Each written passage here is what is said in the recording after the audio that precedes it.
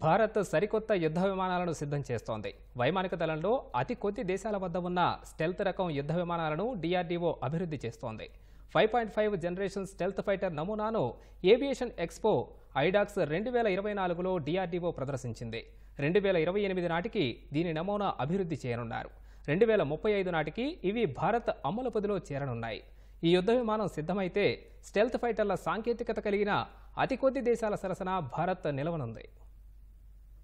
రక్షణ రంగం ఉత్పత్తుల తయారీలో దూసుకుపోతున్న భారత్ అమ్ముల పొదిలో మరో సరికొత్త యుద్ధ విమానం చేరనుంది.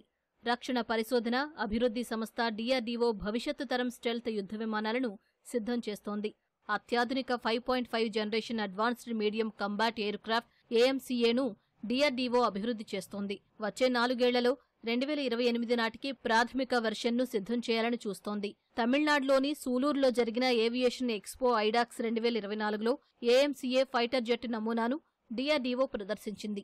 వైమానిక దళంలో అతి కొద్ది దేశాల వద్ద ఉన్న ఈ స్టెల్త్ రకం యుద్ధ విమానాలను దేశీయంగా అభివృద్ధి చేస్తున్నట్లు డిఆర్డీఓ తెలిపింది. ప్రపంచంలో అతి కొద్ది దేశాలకే పూర్తిస్థాయి స్టెల్త్ ఫైటర్ల సాంకేతికత పరిమితమైందని అతి త్వరలో భారత్ ఆ దేశాల సరసన చేరనుందని పేర్కొంది. ఇరవై ఏడు టన్నుల బరువుండే ఈ ఏఎంసీఏ విమానాలు క్షిపణులు సహా భారీ ఆయుధ సామగ్రిని మోయగల సామర్థ్యాన్ని కలిగి ఉంటాయని తెలిపింది. ఇంజన్ ఉత్పత్తి ఇతర కార్యకలాపాలు సకాలంలో పూర్తయితే దీని మొదటి ప్రోటోటైప్ రెండు వేల ఇరవై ఎనిమిది నాటికి సిద్ధంగా ఉంటుందని డిఆర్డీఓ వెల్లడించింది.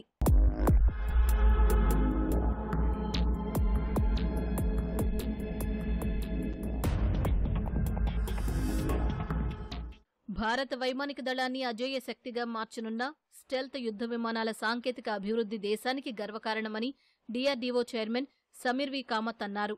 భారత వైమానిక దళంలో ఇప్పటివరకు స్టెల్త్ రకం యుద్ధ విమానాలు అభివృద్ధి సాంకేతికతలు లేవని తెలిపారు. ప్రస్తుతం అభివృద్ధి దశలో ఉన్న ఈ ఏఎంసీఏ రెండు వేల ముప్పై నాలుగు నాటికి ట్రయల్స్ పూర్తి చేసుకోనున్నట్లు చెప్పారు.